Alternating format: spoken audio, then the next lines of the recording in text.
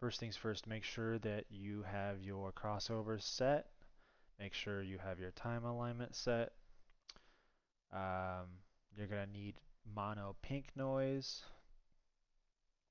Uh, you're going to need your RTA microphone uh, set up by the headrest. And um, the next thing you're going to need is Room EQ Wizard, which I'll show you. You're going to need your DSP um, pulled up, and the DSP needs to be a para needs to have a parametric equalizer. In this case, I have Helix. Um, and then you're going to need this thing called Jazzi's Tuning Companion, which I'm going to link in the video description. What this does is it allows you to put in a house curve and then it will export um, individual house curves for each driver so that we can tune perfectly to those um, the curves based on the crossovers okay? I did my own personal one. Uh, Jazzi's got his, his own in here. Um, see how it changes. I exported mine and my, on my main computer upstairs so uh, I already have my text files. Um, alright so let's get started to begin. Uh, pull up Rue go to preferences and you're going to need to uh, set your mic as the input device. You're going to need to um, uh, make sure you set your calibration file for your mic. Uh, the next thing you're going to need to do is um, go into RTA make sure you have your um, graph axis limit set up properly the horizontal will be 15 to 20,000. The vertical is going to depend on how loud your stereo is set. You're going to want to have the pink noise playing at a listening level. And then you, once you do your first recording, you'll know where you want to set your vertical um, axis limits. Okay. I just got done doing my mid bass. So now we are going to focus on um, my mid-range. And my mid-range is pretty shit, you're going to see here. Uh, and so we're going to do a lot of fixing. So let's start. Going to go ahead and unmute my right mid-range driver. Going to go to RTA and we're going to record it. Uh, by the way, under these settings, you're going to want to have everything set exactly like I do right here. So feel free to pause the video and copy it. We are going to record until it has at least 100, um, it's reached at least 100 on the average count, and then we're going to hit save. Mute the channel. And now we're going to click on the EQ tab. You're going to want to copy what I have here. So under equalizer, we're going to be generic. Target settings, speaker type, none. We're not going to mess with any of this except for the LF rise slope, 0. HF fall slope, 0. And the target dB level is going to be based on, again, how loud your stereo is. Um, and I usually start with the sub, then work my way to the mid bass, and then mid range, and uh, and then tweeter. So what I'm going to do is I want to make sure that after the sub and the mid-range that it's a flat, that it's flat. So I want to try and maintain the same decibel level between the speakers. So I'm going to go back to my mid bass that I already EQ'd. I'm going to click on the EQ tab and it's going to show that I had EQ'd at 52.7 for the decibel level. So when I go to my mid range, I'm going to do the same, 52.7. Okay, so as you can see, we've got a lot we need to work on. We've got some nasty dips here, and then we also want to try and round this out. So um, after we've done that, we need to do our match range, and our match range, what that's going to do is the uh, it's going to EQ automatically, um, and you'll see. So if I click uh, match, sorry, um, first I need to set the match range. So we want it to follow this curve, right? So I'm going to set it for about 125. And then we the curve ends at around 10k, so I'm going to set it to 10k. And I'm just going to show you what this does, all right? Make sure the individual max boost is 6, overall max boost is 3, and then flatness target is 1. And then narrow allow narrow filters below 200 hertz, that needs to be unchecked. So click match response to target, and now it's going to automatically um, do what it can to fix um, to fix all this. Um, if you click on filters and filters plus target, it's going to show all this stuff, but the main thing is that it's going to show you predictions based on what it did or based on um, all these EQ filters. Okay. But what's important is is that you need to realize that you have you only have so many um, of these uh, parametric EQ, EQ bands that you can use. So if we keep getting nitpicky on all this, you're going to run out eventually. All right, so with that being said, the thing I want to address first and foremost are these really nasty dips that we have. So what we can do is we can actually set our own. Um, so I'll show you. You'll click Manual, you'll click PK Always, and then down here it's really bad around 200.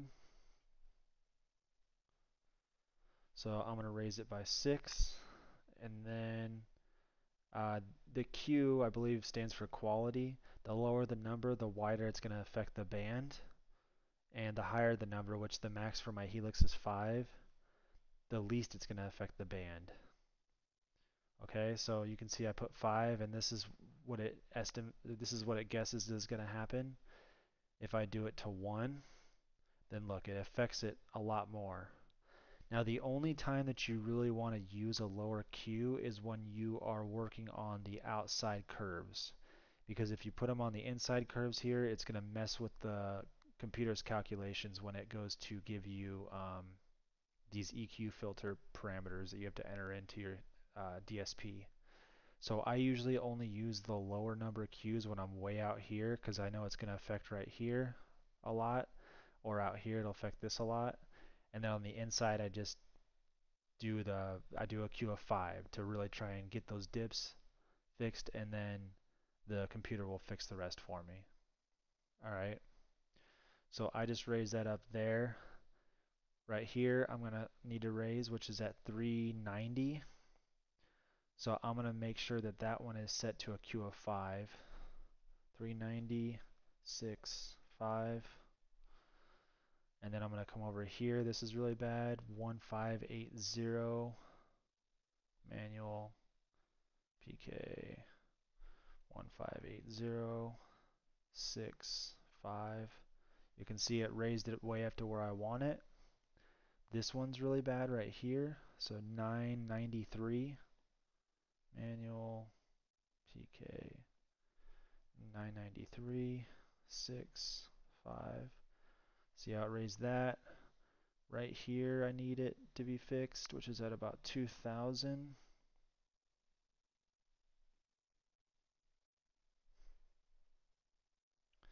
Six, five. All right.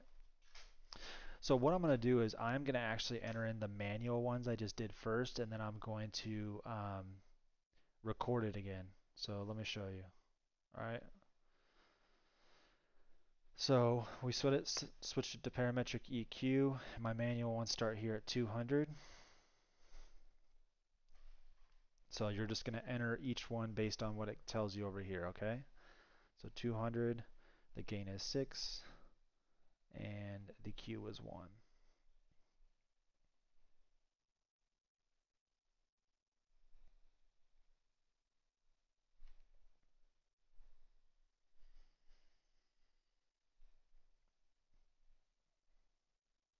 I don't know why it just skipped all the way over to band 10. I must have pressed something on accident. Here, I'm going to reset this to 0. Come back over here.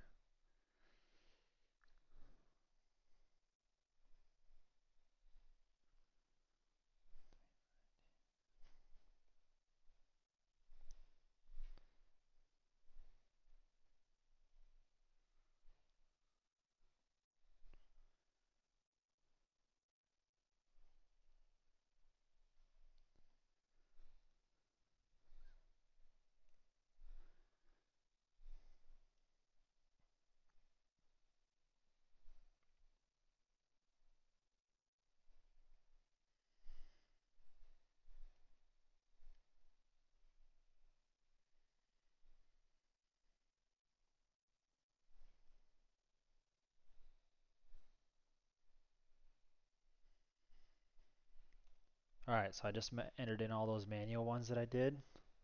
So we'll close this out. We'll unmute channel D and we'll take the next rating or the next recording, my bad.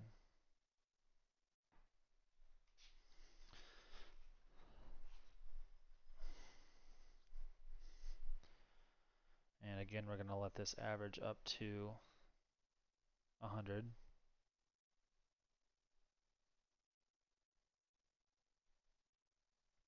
Save. Mute the channel.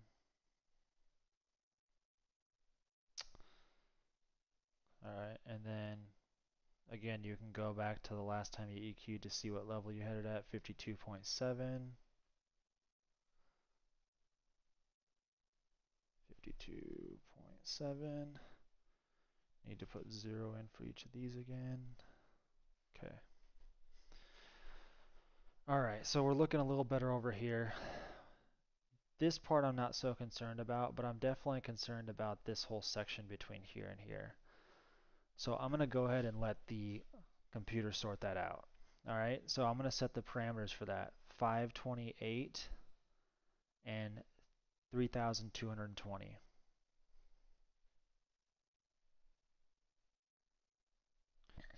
And now let's just let it fix it.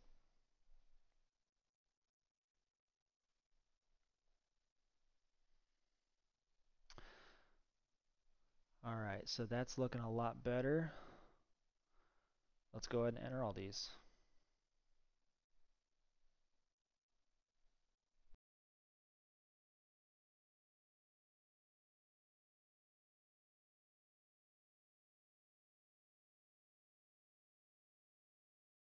Let's see how we did.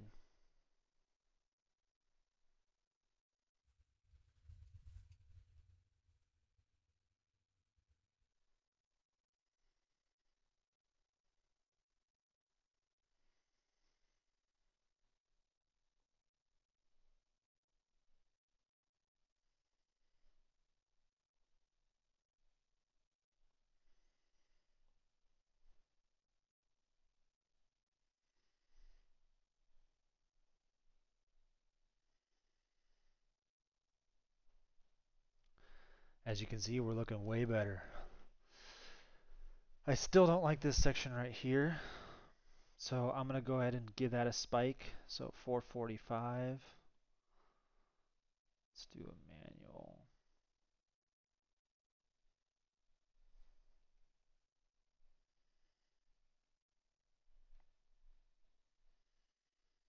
And then we're good. Let's give this a spike. Well, let's give this a spike. 389.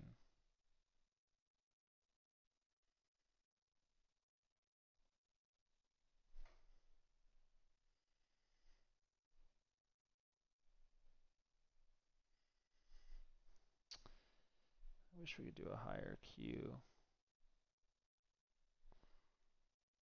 No. What happens if I get rid of this? Uh, how about we make the gain a little less? A little bit more.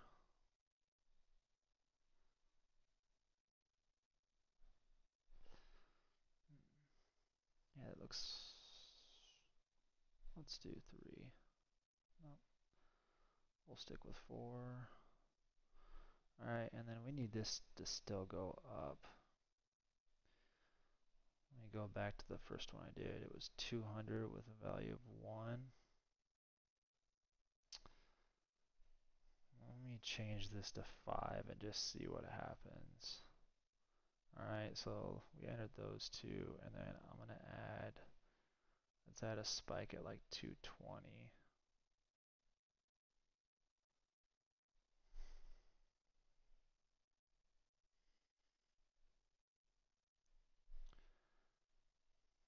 Okay, let's see what happens. So let's add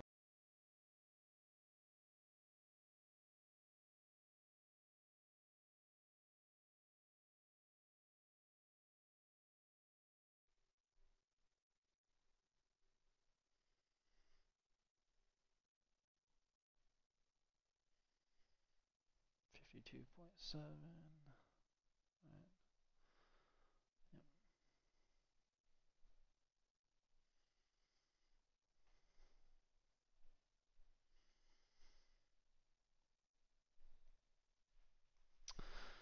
All right, still, we're still getting closer. Let's add another spike here, 286, and another spike here, 172.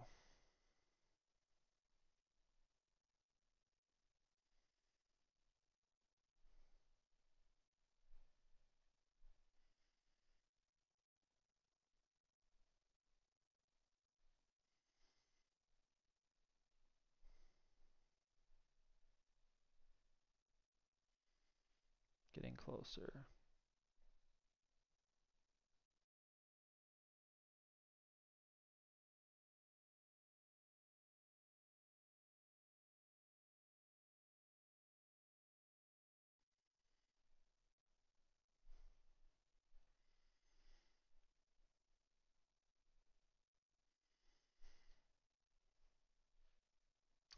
Still not quite where we want to be, but it's still, as you can see, it's still looking nice.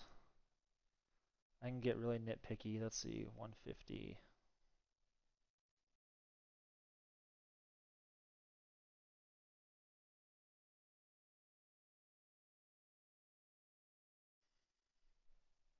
Yeah, without adjusting the crossover, I think that's about the best we're going to get. But that looks way, way nicer than it did before. I'll show you before and after here. This was right mid-range before. And look at that, right mid-range after. And we can even add some smoothing to it to show you. So before, after, way nicer. So that's it guys, that's how you tune. Do this with every single uh, driver and you'll be good to go. If you have any questions, feel free to hit me up. Otherwise, have a good one.